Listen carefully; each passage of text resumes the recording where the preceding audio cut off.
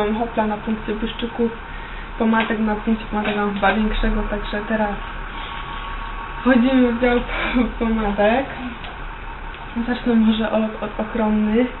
Tutaj mam y, dwie pomadki ochronne z Primarka, które pięknie pachną miętą. Wam pokażę. Zwykła ochronna pomadka. Natomiast to mięte się czuje, ono się utrzymuje y, nam na ustach, co, co mi akurat odpowiada. Kolejną pomadką, którą w tej chwili używam jest Inecto Pure Coconut, która też już tutaj mam końcóweczkę dosłownie. I ostatnią ochroną jest Iron Care ym, SPF 15 z witaminą E i pomadka ochronna, jest to pomadka ochronna robić ona robić i, i tyle. Yy, następnymi pomadkami może zacznę od Stanki. Yy, to są te, które właśnie też były w tej dużej yy, palecie. To Przetrę rękę.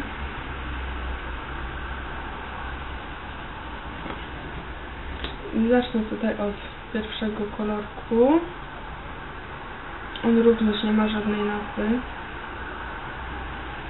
Niestety. To jest taki piękny brzos koralowa brzoskwiń, coś, coś, coś, koralowa koralowa brzoskwinia, coś takiego.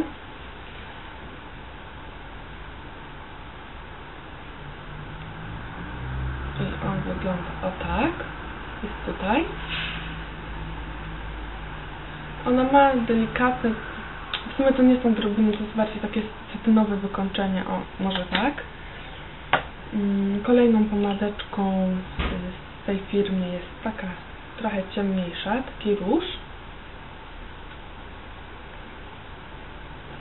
One są delikatnie napigmentowane i ona również ma satynowe wykończenie.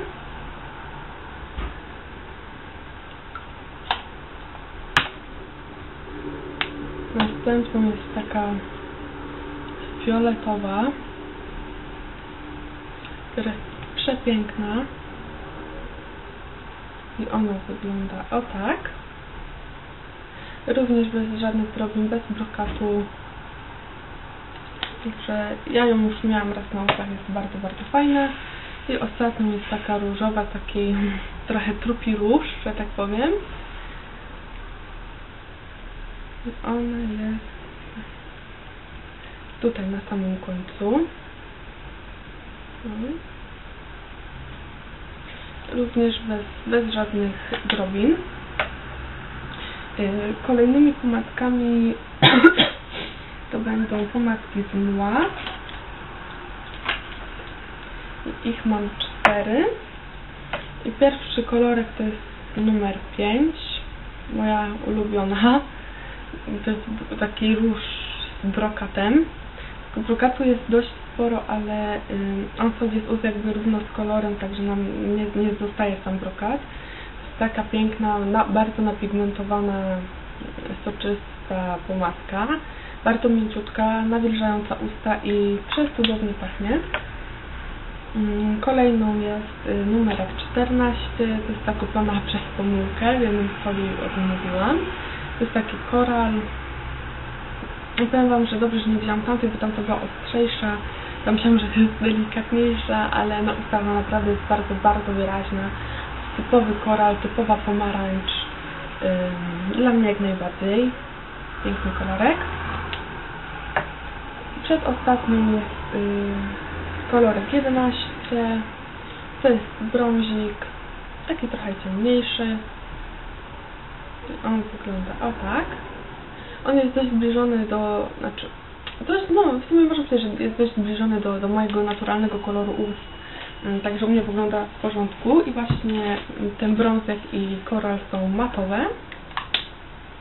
I ostatnią już pomadeczką jest numerek 9. To jest taki, to jest dezelowana trochę, mm, nawet nie wiem jak opisać ten kolor, taki ni to fiolet, ni to brąz, ni to róż na, na ustach. Na, na ręce wygląda tak. jak to u mnie bywa, mnie przerwało. Y, Pamięć się skończyła, także mm, już do Was wracam. Nogi mi ścierpły. Słuchajcie, mam mrówki teraz w stopach, ale, ale przeżyję. Ała. I, I ta pomadka, jak mówiłam, ona ma satynowe wykończenie, jednak jest um, bardziej połyskrująca niż, niż pozostałe um, tej pomadki tej firmy. Ała, ale mam mrówki. O matku. Dobra, jedziemy dalej. Mm, Następnymi pomadkami będą pomadki z Gosha. Ich mam cztery. Pierwsza to jest numerek 31 Passion Pink. To jest przepiękny róż, ostry róż, taki jak ja lubię, słuchajcie. Yy, wszystkie są matowe, wszystkie mają yy, matowe wykończenia. No, ale jednak takie lekko satynowe, wiecie, nie taki mat, że, że kreda, tylko taki mat, taki piękny. To jest przepiękny róż, uwielbiam go. Mm, pięknie pachną. Jedynym minusem może jest to, że jak możecie zobaczyć, one mają bardzo, bardzo właśnie ma, mało, mały ten sztyc, bardzo wąski. To oczywiście dla niektórych to będzie plus, natomiast dla mnie to jest trochę minus, bo, bo ja mam dość dużo usta i, i mi się trochę trudno tym maluje. Znaczy trochę trudniej, muszę tak wiecie, tak na, na dwa razy jakby. Yy, następną pomadeczką jest numerek 38 Aubergine. To jest przepiękny, ciemny, taki... O nie, przepraszam, ten, ten ma trochę brokatu. Mhm. Ta ma, ale ten brokat jest bardzo delikatny, taki subtelny, bym powiedziała. To jest to zaraz obok, taki ciemny, taka, taka brą, brązowa wiśnia, coś takiego. Yy, Kolejną pomadeczką jest numerek 30 Barbie. I to jest również taki piękny róż. Delikatniejszy niż ten poprzedni, ale, ale mnie się również podoba. Ją bardzo często też używam. Wygląda tak. I ostatnią już y, to jest numerek 36 Moka. Przepiękny po prostu brąz. Delikatny. O, tutaj jest taki ciemniejszy miód, ale, ale mi się bardzo, bardzo podoba. Zbliżamy się kochani do końca. Tutaj mam pojedynczą pomadkę z Saversa, która jest mm, różowa. Czy ona ma numerek? Nie, nie ma numerku. I to jest przepiękny taki róż, również z brokatem, natomiast y, z delikatnym brokatem. To jest jaśniutki taki. Tutaj on jest, nie wiem czy zobaczycie. On jest bardzo, bardzo jasny.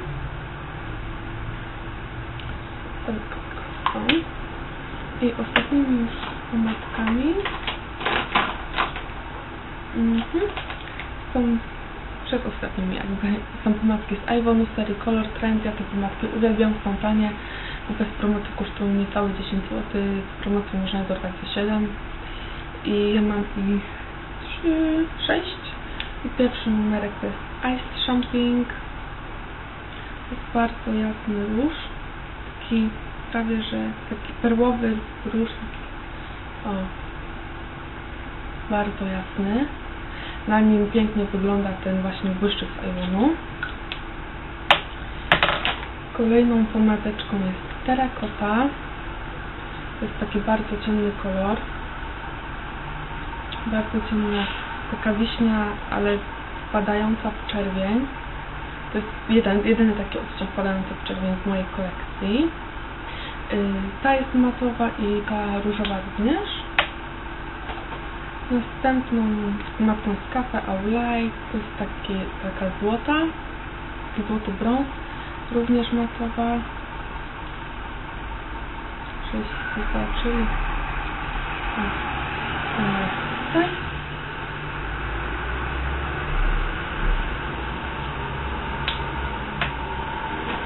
Kolejną jest Sugar Cane. To też jest brązik, tutaj już resztka taki brązowy, brązowy, taki brązowy róż, no o. Róż padający trochę w brązik, trochę w miód. Jest tutaj. Miałam jeszcze właśnie z tej serii odcień Ginger, pamiętam, ale chyba wstawiłam go w Polsce.